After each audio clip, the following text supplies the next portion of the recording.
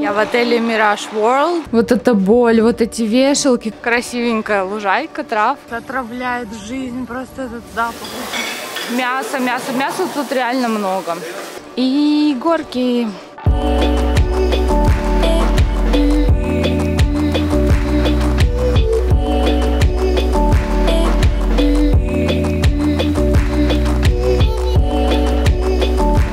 отеле Mirage World в Мармарисе, в Вичмилере. Вот так вот выглядит входная группа, зона для чила. Здесь можно работать, некоторые с ноутбуками приходят. И ресепшн. Hello. Yeah. Надо сказать, что это самое прохладное помещение во всем отеле. Здесь очень круто работают кондиционеры.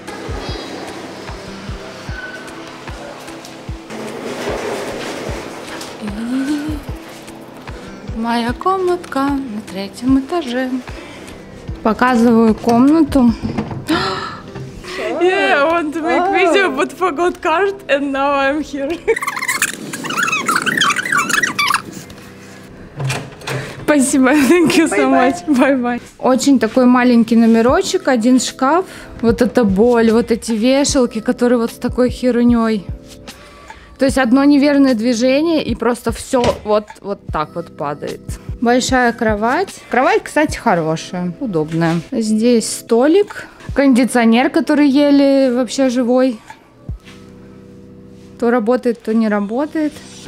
Вот у нас ванна. Все такое старенькое, потрепанное. Здесь вот плитка, неудобный душ, потому что он вообще не выдвигается, ничего с ним сделать нельзя. Надо прям туда вплотную вставать, а там краны. Убирают так себе, если честно, через раз. Тоже, если полотенце не попросишь, могут не дать. Если шампунь не попросишь, могут не дать. Все на коммуникации. И здесь такой видочек. Чуть-чуть видно море, а так в основном дорога и вот какие-то местные кафешки и горы. Принципе, вид меня устраивает, потому что здесь можно наблюдать за тем, что происходит. В других номерах э, там будет вид либо на бассейн, либо на ресторан.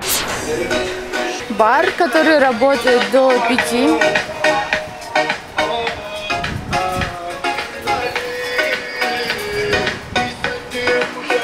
Это первый бассейн здесь. Бассейн работает до 19, вот видите, то есть после 19 уже купаться нельзя. Что печально, потому что вечером очень классно. Парикмахерские. Там находится турецкая баня, хамам. 15 минут сауны. А, в хамаме вам сделают скрабинг, массаж пеной. А, масочка для лица в этом месте у нас идет. И 40 минут расслабляющего массажа. 30 долларов. А что у вас есть тут бесплатно? Бесплатно 15 минут хамама, сауны. Вот так вот выглядит массажный кабинет. У них скромненько.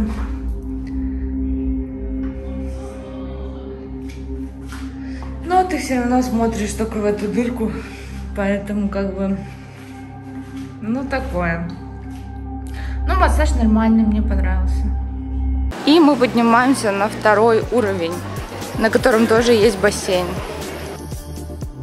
Здесь детская зона и второй бассейн.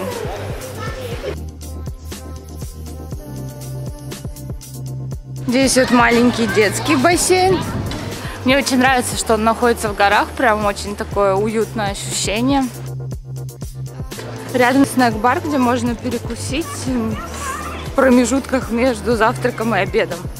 Он работает до 5. French fries, шаурма, микрошаурма.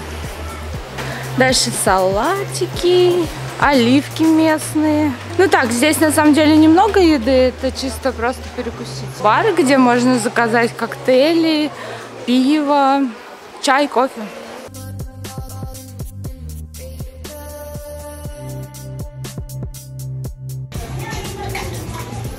Вау. Хочется пояснить, почему вау. Дело в том, что обычный коктейль в этом отеле это водка, джин-тоник не очень хорошего качества и такой краситель сверху в пластиковом стаканчике. А такие вот коктейли, как он мне сделал, стоят 2 доллара, то есть бесплатно их не делают. Красивенькая лужайка, травка, качели вон, как видите, и горы вокруг. И горки. Горки работают несколько часов, прям не весь день. Здесь вот чьи-то номера с такими спуском.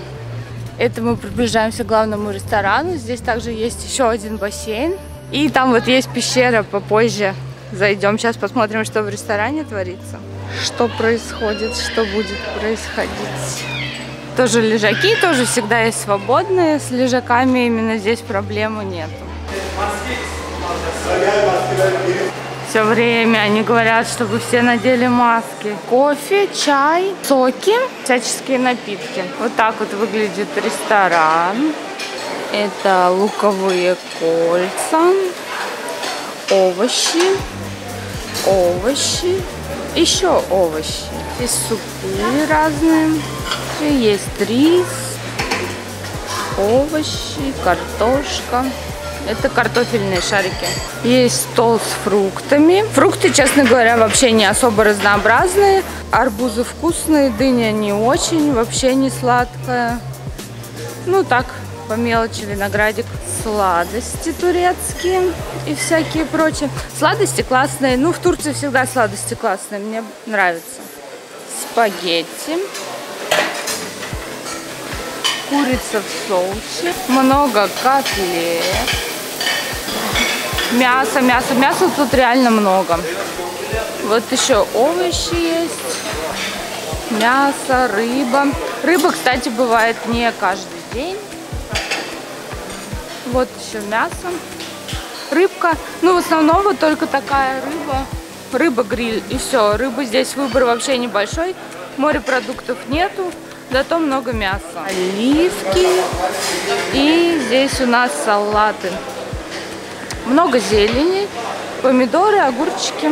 Ну, такие, на самом деле, довольно-таки однообразные. Помидоры, огурцы, зелень. И еще один салатный стол с маленькими салатиками. На удивление, сегодня есть тарелки. Наверное, это потому, что обед только начинается.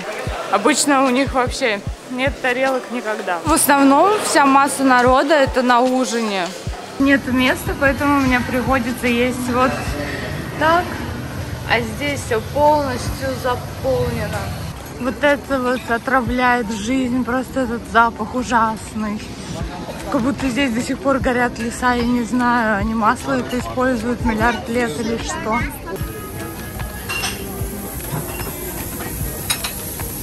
В обед нормально, можно найти себе местечко.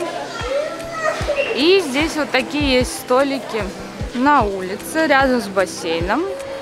Этот бассейн мне, наверное, больше всех нравится, он классный. Пойдемте прогуляемся в пещеру. Стоят столики, но люди в основном здесь сидят э, вечером, потому что жарко очень днем. Собственно, пещера в отеле. Она небольшая, здесь даже вымощен пол, но все равно прикольно. Можно интересные фотографии сделать. Наверное, самый красивый вид из этого отеля открывается вот с этой высоты. Особенно вечером я еще покажу здесь подсветочка. Такая все прям красивенько.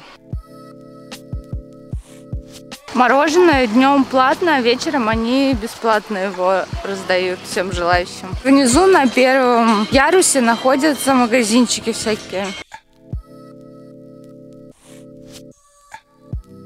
Вот эти желтые лежаки принадлежат отелю, на них можно приходить и загорать. Рядом находятся лежаки других отелей, то есть если вам туроператор говорит, что это первая линия и у отеля есть свой пляж, то как бы вы должны понимать, что этот пляж находится не на территории отеля, недалеко, там идти буквально 3-5 минут, но на территории отеля своего пляжа нет. Плюс хотелось бы сказать, что вода на этом пляже не самая чистая, и есть недалеко пляж, на на котором действительно вода гораздо чище. Можно просто прогуляться вдоль береговой линии до отеля Марти Резорт или вот где Сентида Си Стар. Там гораздо более чистая вода.